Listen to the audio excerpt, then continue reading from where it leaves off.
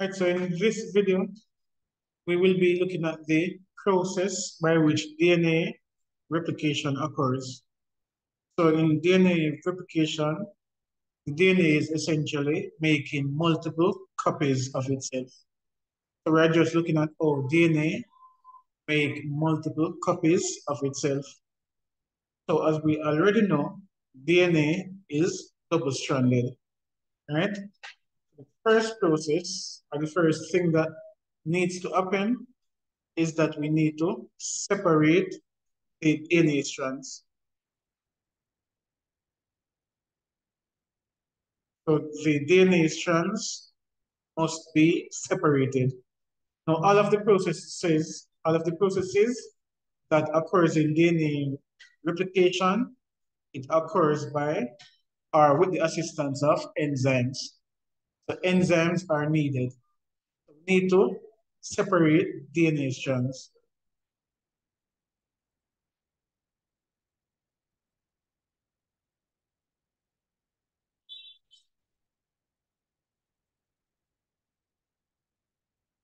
After the strands are separated, right?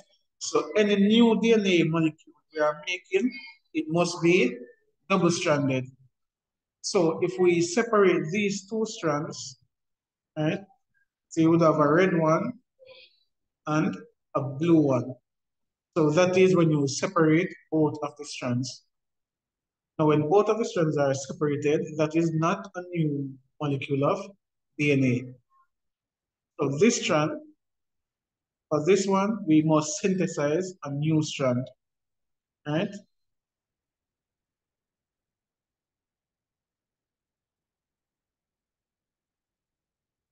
And for this strand down, so this one was the original. This one is also an original. We are going to synthesize a new strand, right, on the original. So at the end of the process, you are going to get back a double-stranded molecule of DNA. So notice you would, would have started with one molecule of DNA. Is the red and the blue. So that was the original DNA molecule. And we said the first thing we're going to do is separate them. So this was it. Strand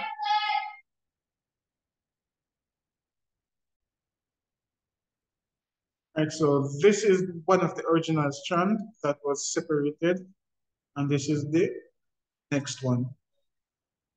At the end of the process, you would have had a new strand onto this original one. And you would have a new strand on this original one. So what we are going to do now is look at how we get this new strand. The first step was to separate them. At the end of the process, you are going to have two new strands on each of the original DNA molecule. Now, when we speak of DNA replication, we say it is replicated in a semi-conservative manner. So, before we look at the actual process, let us look at why we say DNA is replicated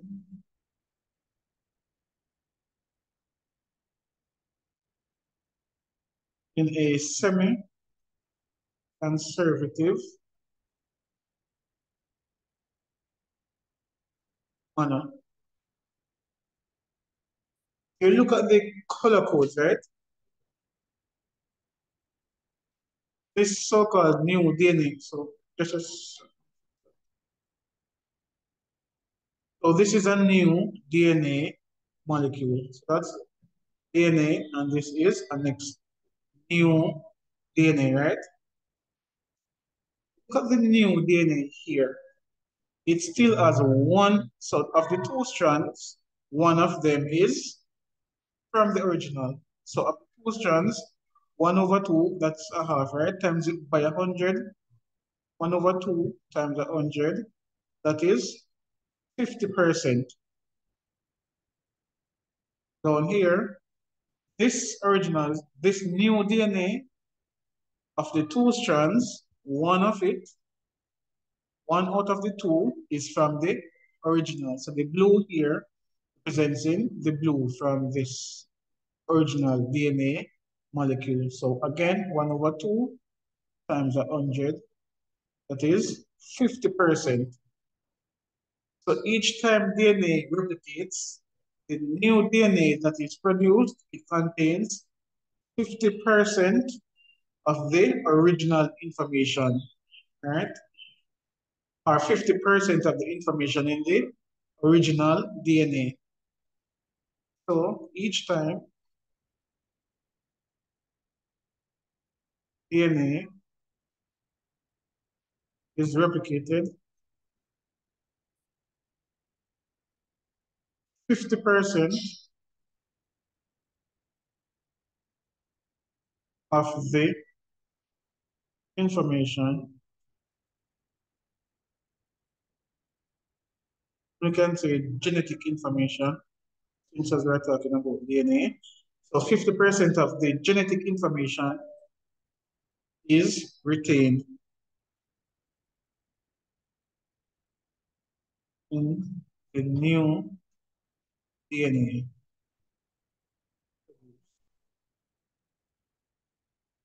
Right, so when we say it is replicated semi-conservatively, that is what we mean, right?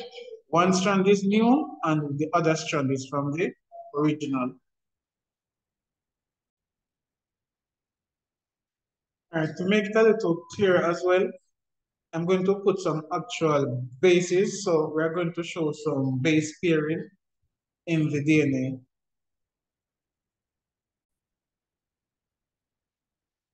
Right, so here we have our two strands of DNA.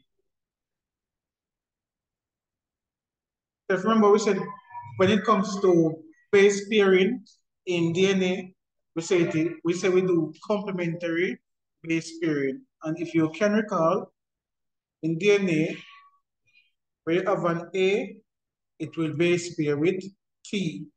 And where you have C, it will base pair with G. So it's adenine with thymine and cytosine with guanine.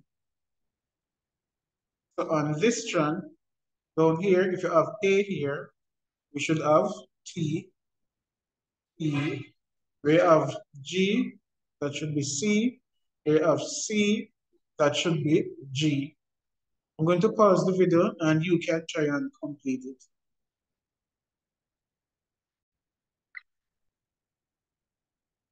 All right, so you would have paused and tried to complete this DNA here. So this is how it would have looked.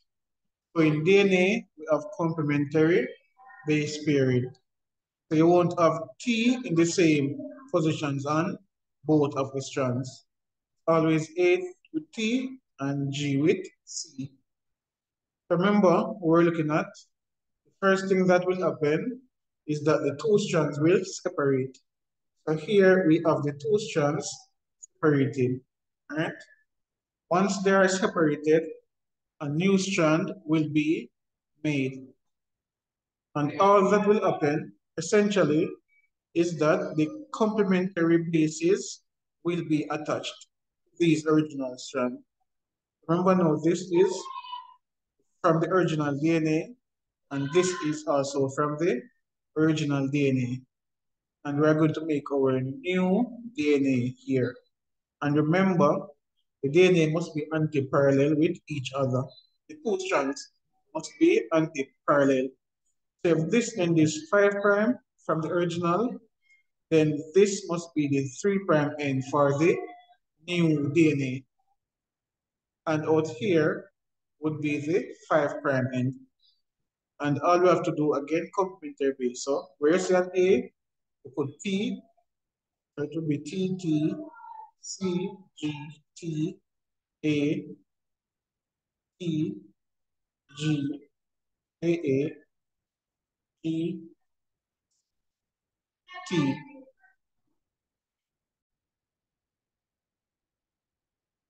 So this will be your new strand of DNA. Use a different color for the next one. So on this strand now, we're going to make a new DNA strand again. So here is 3 prime, the new strand. This will have to be the 5 prime end, and out here will be the 3 prime end. Again, wherever T, you put A, it's A, A, G, C, A, E, A, C, T, T, T, G, G. All right, so as you can see, this is one molecule of DNA, a new one, and this is the second one. So this was the original, just one DNA, right?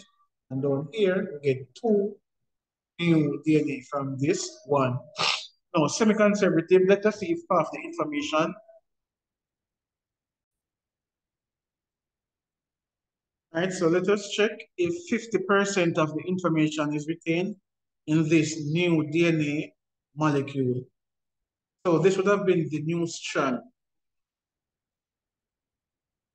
And the entire, and the two strand now is what make up the DNA molecule. So it is going to be 50-50, reason being, this strand is from your original DNA, and then this is a new strand, right? A completely new set of bases, right? There's one new strand and one original strand. The same thing here. This was the original strand, and this one in block, that's your new strand, all right? So this is showing the semi-conservative nature of DNA replication. Now we're going to look at the actual process of how DNA is replicated.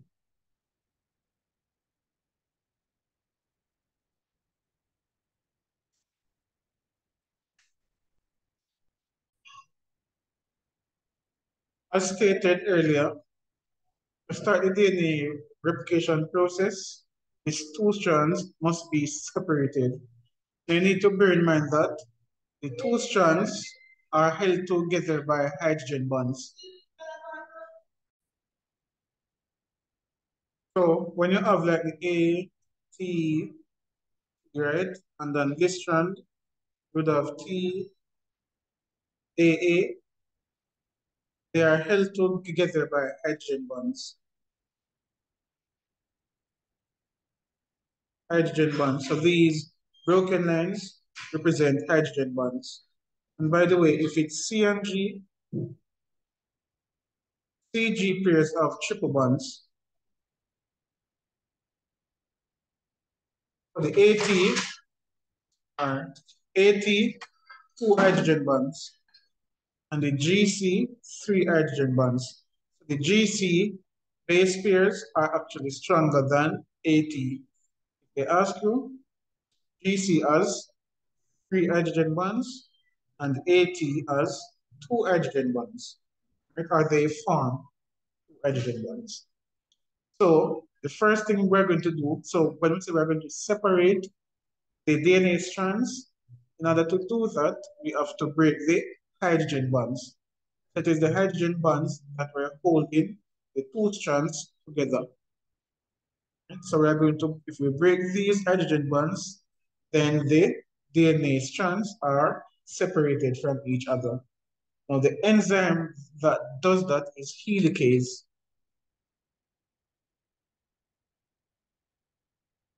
And before helicase actually comes into place, so the DNA molecule we say it is super coiled, right? So to ease the tension a little, all right, at the cape level, we don't have to, mention this enzyme. Topoisomerase. But we generally start it at helicase. So we say that helicase breaks the hydrogen bond. But topoisomerase is actually the first enzyme that comes into play. So the DNA is super coiled, right? So the topoisomerase, so it eases the tension on it or relaxes the, the molecule, right? Then helicase now will come in and break the hydrogen bonds. So this is just an additional info to tell you that it is topoisomerase that actually starts it first. right?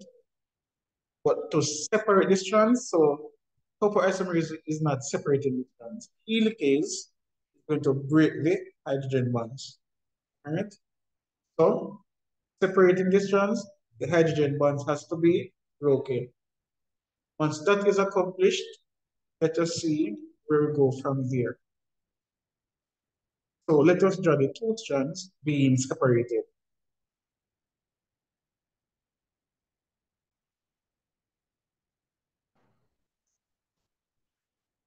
Okay, so ready to get started now on the process. So first to try and keep it simple or make it a little easier for you to understand, right? This process, think of it like an assembly line, right? So everything is happening at once, but some things are ahead. So to get the process started, right, we had mentioned, so DNA, the molecule is supercoiled, right?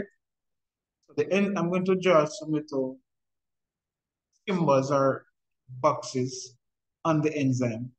So let us say topoisomerase is the one that would have been ahead, right? To ease the tension.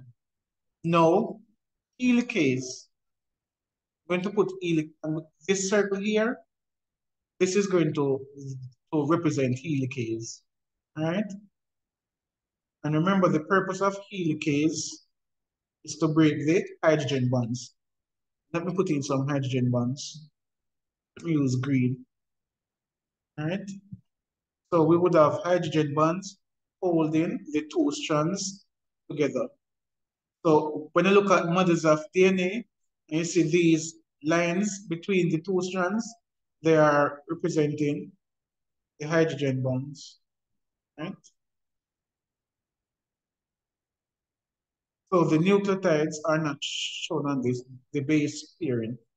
But anyway of the of the lines, that would mean the hydrogen bonds between the bases. So it is also basically showing complementary base pairing. Because if these are hydrogen bonds, that means they would be connecting the bases. So what needs to happen for DNA to replicate we need to separate the DNA strands, right? Notice I did not separate all of the strands at once. As I said, just imagine it as an assembly line. It's an ongoing process, right? So helicase go ahead and it breaks a portion of the hydrogen bonds. Once that happens, we are going to kickstart the process of DNA replication. As I said, it is controlled by several enzymes. In the case, go ahead and break the double bond. Once that happens, we are going to have the bases off, right? So let me just put some bases here. Let's A, T, T, G, E, G, A, T. All right? That means this strand would have the complementary base pair. So this would be T,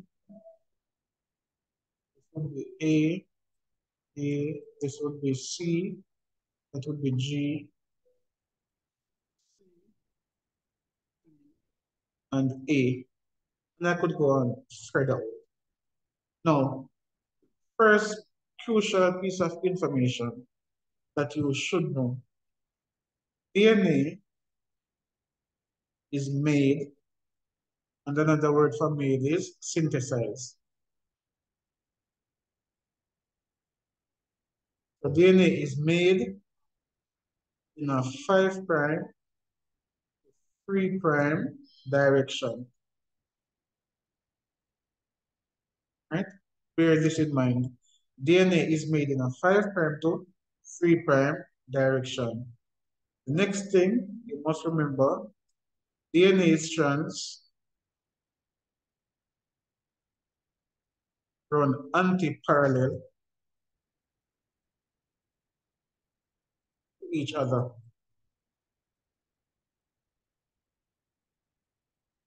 That means if one strand is going 5 to 3, 5 prime to 3 prime, the next strand must be going 3 prime to 5 prime. If you have 5 to 3, 5 prime, 3 prime, 5 prime, 3 prime. That is incorrect. So this is incorrect. This one is correct. So this is anti-parallel. This is parallel. Right? So DNA must be made in a 5 prime to 3 prime direction and they must run anti-parallel to each other. What you will realize, right, before I get there, just bear this in mind. Let us continue. So these two strands are separated. As you know from earlier in the video, all that we need to do now to make the new strand is add complementary bases. So on this strand where I have A, I would put a T. On this one where I have T, I would put A. A, T, T. This would be T, A, A. We're now making the new strand. As I said, everything is controlled by enzyme. So the enzyme that is going to add these bases here is DNA polymerase, DNA polymerase 3. Now, before DNA polymerase can actually know where exactly to start, it needs a little help. Right, it needs a little help. And that help will come from the next enzyme is primase. And primase is going to make an RNA primer. All right, so the primer, I'm going to put a little box here to represent the RNA primer. Let me choose next color. So this area This is your primer. I'm not put it on this strand as yet. I will explain why. Five, just a second. Five to three. Right.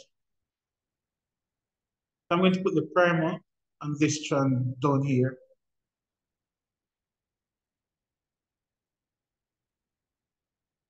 All right, so that is my primer. So DNA replication does not start without your primer. So you can pause the video and make these jettings as I speak. So first enzyme is helicase to break the hydrogen bonds. For DNA polymerase to come in and start adding the complementary bases, we need a primer. The primer is what is going to tell DNA polymerase that here is where you need to start adding your nucleotides, right? Once the RNA primer is there now, then DNA polymerase can join. So I'm going to let what the RNA, let us say a triangle, right? So this is, let me draw it a little, let me draw it bigger. So just uh, say this is our this is DNA polymerase.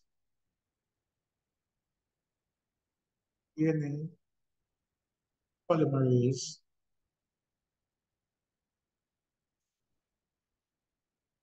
Right? So remember, helicase is up ahead, continuing, continuing to break hydrogen bonds.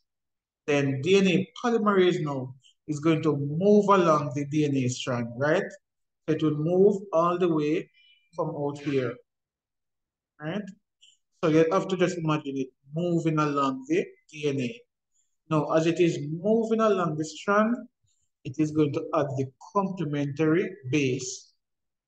So when the DNA polymerase spots A, it knows that it should put a T Remember, the strands are separated now, so don't pay attention to this strand up here.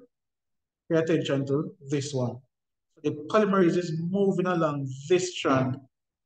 So where it says T, where it says A, it will put T. When it gets to this T, it will put an A. As it moves along, it is adding the complementary bases. This would be G, T, T, a.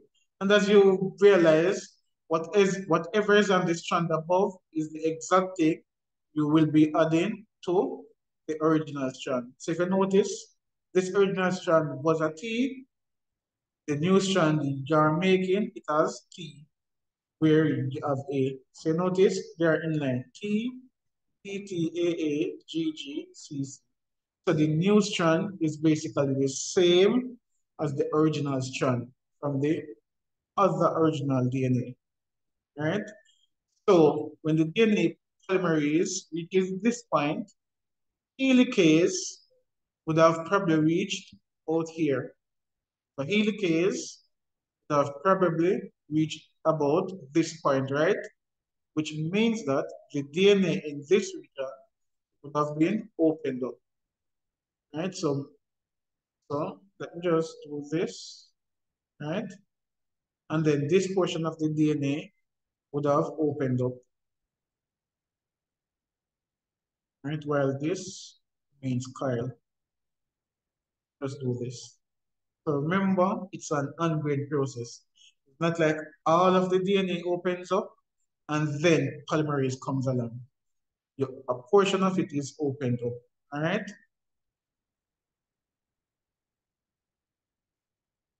So this portion where we open DNA to start DNA replication, it is called origin of replication. See? This chapter kind of like a fork. We call it the replication fork. All right, so this chapter right here that we initially open up the DNA, that's your replication fork. All right. Now, as I showed you with this one, right? That was the pointer.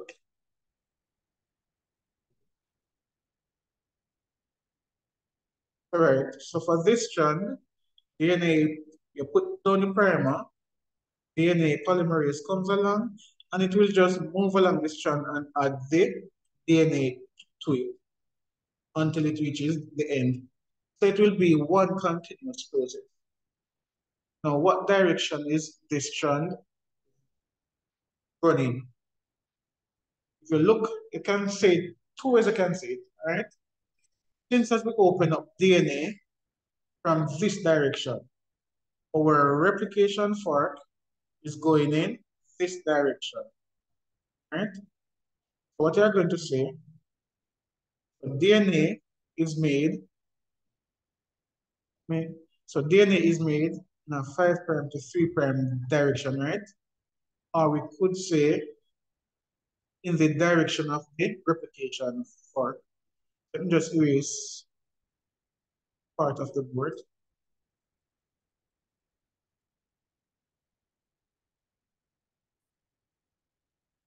The DNA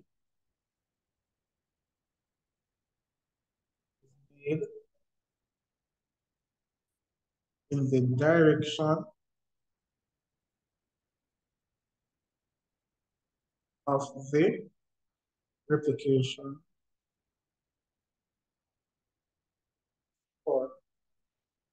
So as you can see, the DNA is being opened up in this direction from left to right. Um, we start out here, going in this direction right? So what are the implications of this? So DNA is being made 5 prime to 3 prime, right? Which means that actually they should not they should have started it up here. So let me just switch around the numbers. So, and you will see why I'm doing this in a bit. So I'm going to make this with 3 prime up here, 5 prime. I'm switching these around. Right. Fine. So this would be 3 prime and down here would be 5 prime. So the new DNA that is being made, right? Remember, 5 prime to 3 prime.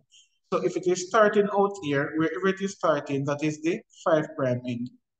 Get a different thing the new DNA, this would be the 5 prime end of your new DNA. And at this point, when it gets to out here, this would have been the 3 prime end. Remember, DNA runs anti-parallel to each other. So this strand, hold on, just clear some of the board. Right, so the focus is on this strand, which is currently running 5 prime to 3 prime. That's the blue one.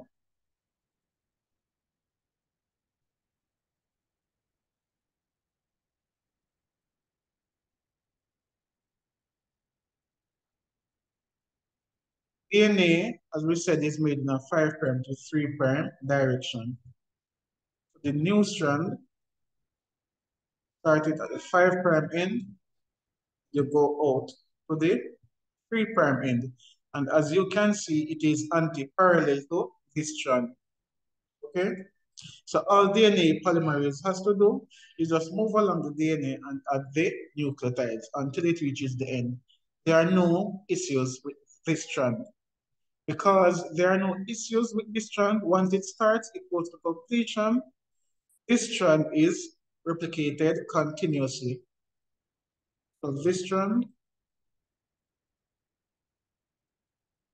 Strand is replicated continuously. Right? Which strand is replicated continuously?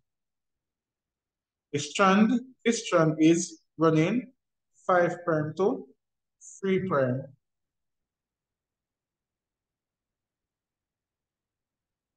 When I ask which strand is replicated continuously, I am not referring to the new strand. The new strand is being made. It is not being replicated. These two original strands, they are the ones that are going to be replicated. When I say which strand is being replicated continuously, it is in reference to the original strands up here. Right? So of these two strands, the one that is being replicated continuously is the one that goes 5 prime to 3 prime. Now, the next way that you could say it is the strand that runs 3 prime to 5 prime. But you have to add something it. Is the one running 3 prime to 5 prime in the direction the direction of the replication fork. let me just explain that again. This strand here is running 5 prime to 3 prime. Now, if you look at how DNA is being replicated, for the, in this example, so other examples, they could have opened up the DNA from this end. We are opening up the DNA from this end, which is the right-hand side. So we are moving from the right-hand side, from right to left. Now, since, since as we're moving from right to left, is that is the direction, that is the direction of the replication fork. This opening here, opening going in that direction, right, that's the replication fork. So we're moving from right, let's do uh, right. So we're moving from right, going across to the left. So since we are moving from right to left, it would mean that we are moving from 3 prime to 5 prime. But do not just say 3 prime to 5 prime. right? 3 prime to 5 prime in the direction of the replication fork. Otherwise, it would be 5 to 3.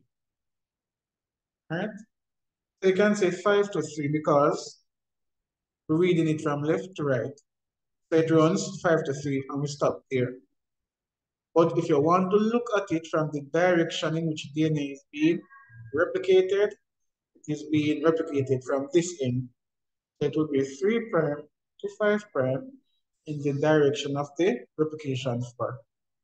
Now this strand, because it is replicated in a continuous manner, we're going to call it the leading strand. Now all of these references are being made to the original strand of DNA. One of these strands are going to be called the leading strand, and one is going to be called the lagging strand. The one that is replicated continuously, that is your leading strand. Please do not look at this new strand here. All right, we are not making any reference to the new strand. This 5 to 3, that is your original strand. The leading strand is 5 to 3. Right. If you mention 3 to 5, you have to say in the direction of the replication fork. Right. Because, again, again, when we're making reference to direction, it is in reference to the original strand. So one of these original strands are running 3 prime to 5 prime. The next one is running 5 prime to 3 prime. If you tell me 3 prime to 5 prime, that is incorrect.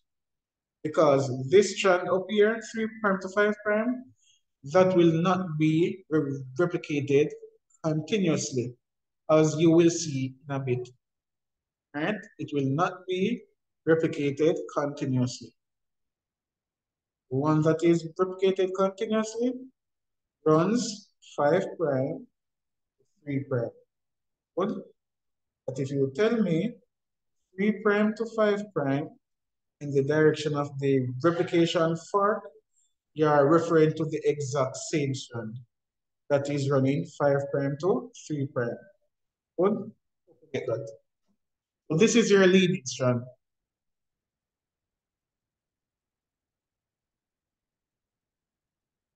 Leading strand. So on your CAPE exam, they can ask you to explain continuous or discontinuous replication. If they ask for continuous replication, they are asking you for the leading strand only, not the entire process of replication. So the DNA replication, one strand is going to be continuous, and the next one is going to be discontinuous replication the leading strand is replicated continuously because once the process starts, it does not stop. It goes to completion. Going back to the process here, once DNA polymerase starts, it will just continue behind helicase all the way out to the end. And you will get your new strand, right? So for the continuous replication, we need our RNA primer to start off the process. RNA primer is needed to show DNA polymerase 3 where it should come. All right? RNA polymer, DNA polymerase will come and it will add the appropriate bases. Right? Complementary base pairing. And it will do that until it reaches the end of the process. Good? And that's continuous replication. Now, obviously, this is an RNA primer. And when we say primer, it's sequence of bases as well. So even though I'm putting objects here, RNA primers is sequence of bases, a short sequence. So which means that your RNA primer, after DNA polymerase has completed, adding the nucleotides, we need to get rid of this primer. Will also be done in discontinuous replication. So I'm going to explain it in discontinuous replication. So what do we need to remember for continuous replication? For one, is the strand that runs 5 prime to 3 prime. And that is your leading strand, right? Or can say it is the strand that runs 3 prime to 5 prime in the direction of the replication fork, right? So that is the strand that we start with. We put down the primer, helicases ahead, breaking the hydrogen bonds. DNA polymerase comes and add the complementary nucleotide. All right. I know this might get a little confusing saying 3 prime to 5 prime in the direction of the replication fork. I'm just going to show you that and then close the video here. I will do DNA, I will do discontinuous replication in a different recording. All right, so let us just erase this portion of the, the diagram, right? Just clear everything from here.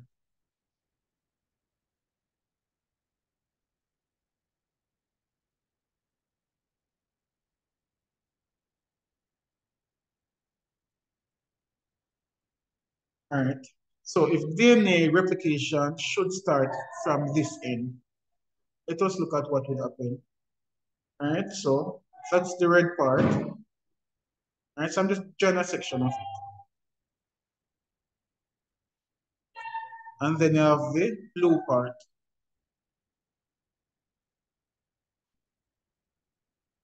Just, and that part is unwind for the moment. Let's focus here. The red, we say that the red, that's the 5 prime, and it would end in 3 prime. This now is 3 prime, and this one is 5 prime. What I am explaining here is that the strand that runs 3 prime to 5 prime in the direction in the direction of the replication fork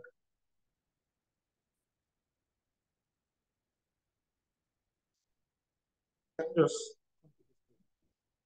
strand DNA strand that runs 3 prime to 5 prime. And so the strand that runs 3 prime to 5 prime in the direction of the replication fork is the leading strand.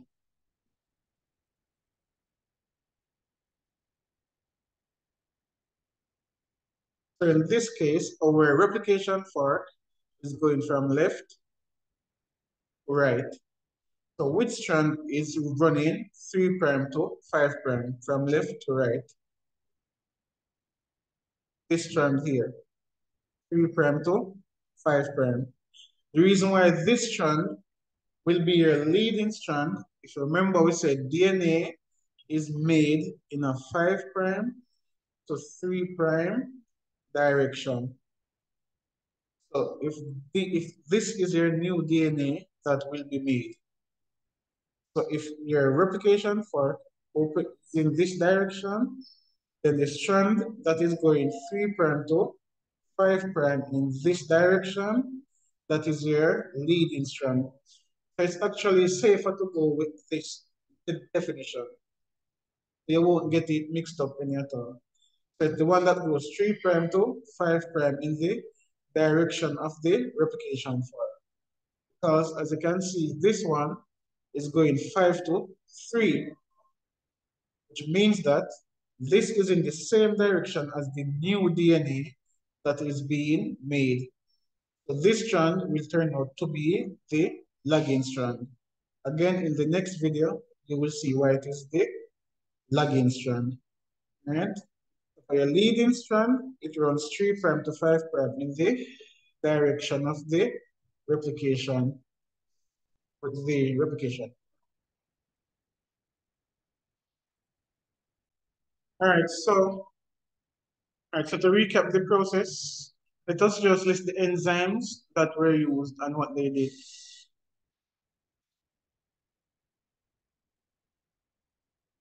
topoisomerase, you had helicase, you had primase,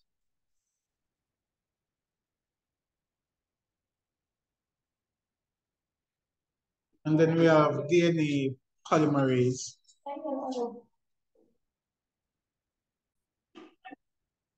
Right, so topoisomerase, helicase, primase, and DNA polymerase.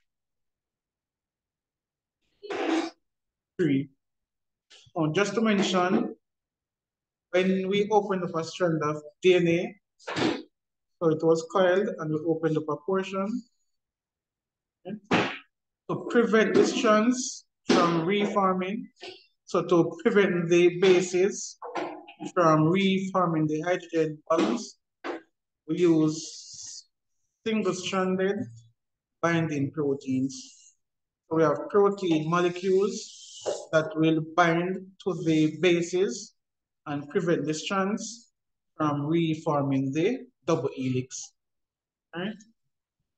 Okay, so that also happens. So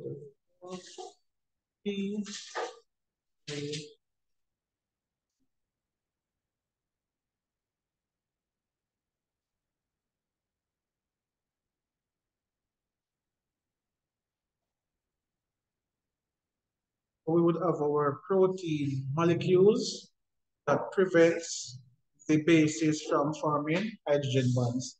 So that keeps the strands apart so that DNA polymerase can come on at the complementary bases.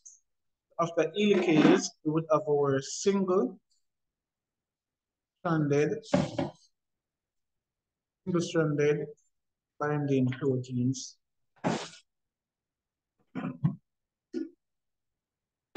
So you should be able to tell the role of for